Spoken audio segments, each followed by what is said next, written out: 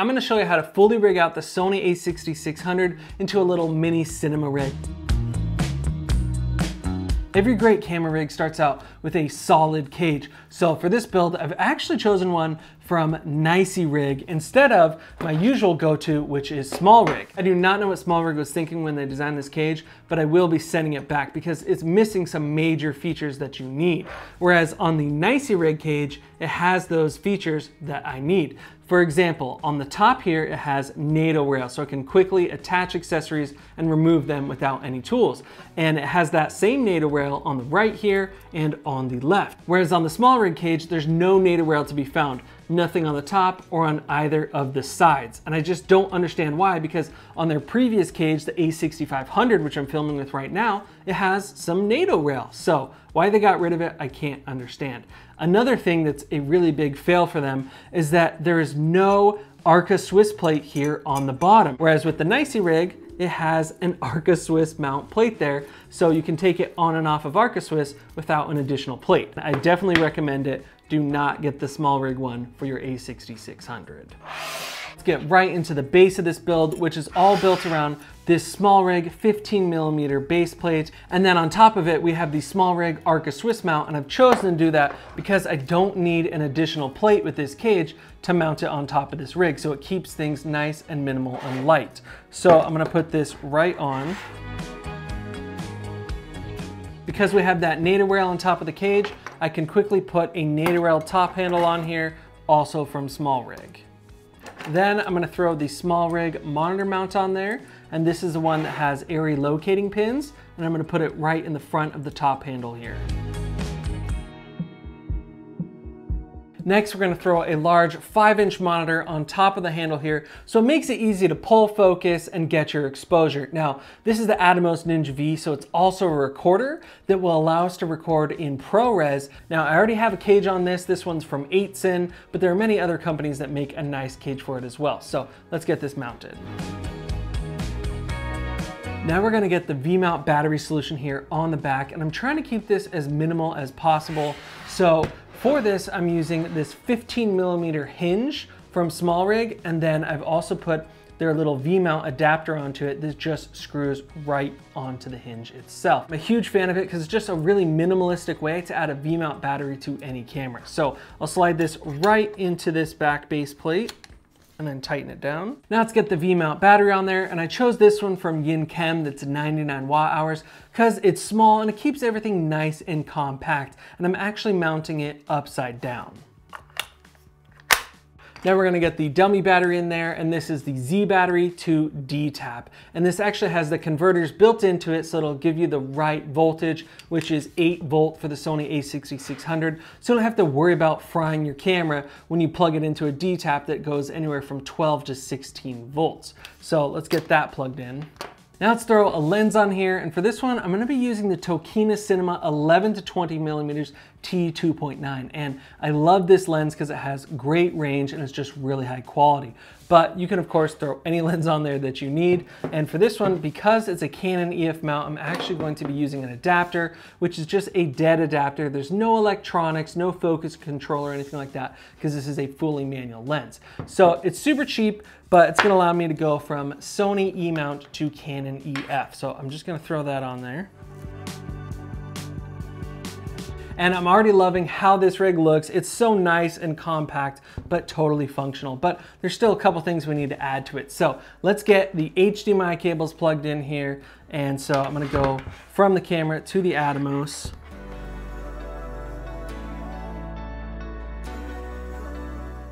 And then we're also gonna set up a wireless transmitter. So I'm going to do an HDMI loop out. Now let's get the wireless transmitter attached to the rig. And for this one, I'm using the Hollyland Cosmo 600 because it's really high quality and it gives you great range up to 600 feet.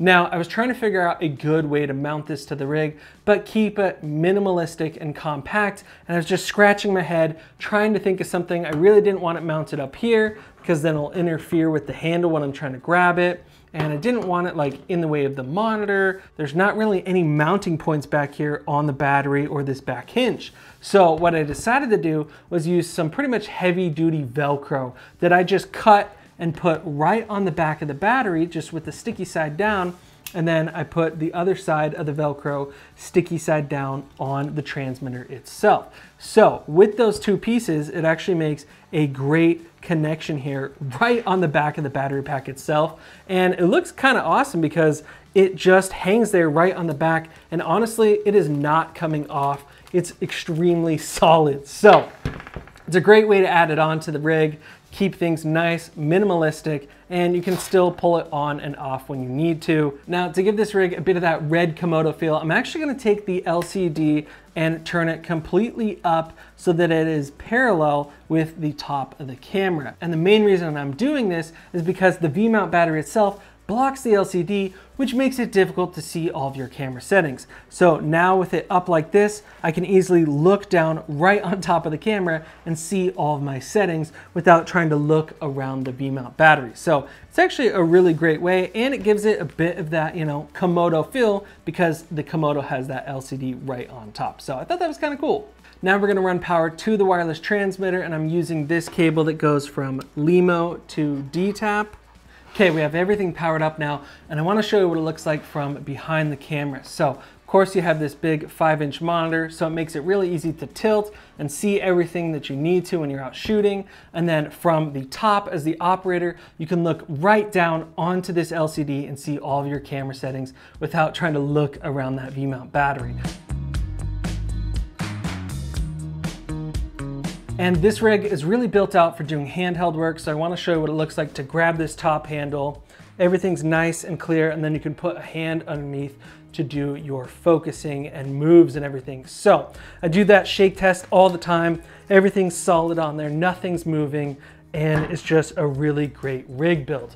Now, of course, there are other things that you can add to this rig if you want to, it's completely modular. For example, you can add a wireless lavalier pack to the back here on this top handle, which I actually can show right now, but because I'm using it to film this video, I can't put it here on the back. Of course, you could throw a shotgun microphone onto the cold shoe here, and then if you need a matte box, you could grab one of those. So we have this one from Polar Pro, the Basecamp, and I can just clamp this right onto the front. If you want to throw a follow focus onto this, you can.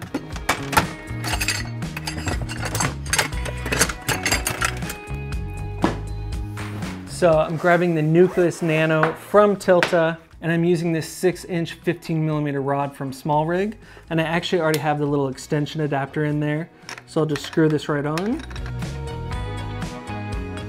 Now here's what's awesome about this rig. It's very modular. So yes, you can go completely handheld with it using the top handle and just pulling focus here, or you can throw it onto a tripod or slider. You just need to put a quick release plate of your choosing on the bottom of the entire rig. Because most everything is on NATO rail or Arca Swiss, it's really quick to take apart with no tools. So let's take off this top handle.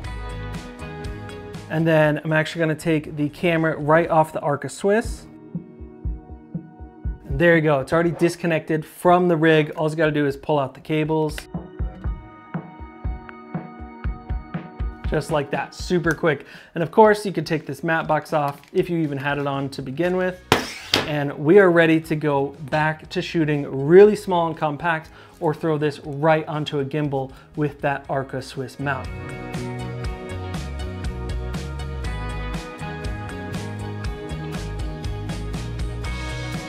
All right, guys, if you want to see more videos like this, hit subscribe right now because I have a ton more videos coming out in shooting, editing, lighting, gear reviews, everything like that, and you don't want to miss it. All right, I'll see you in the next video.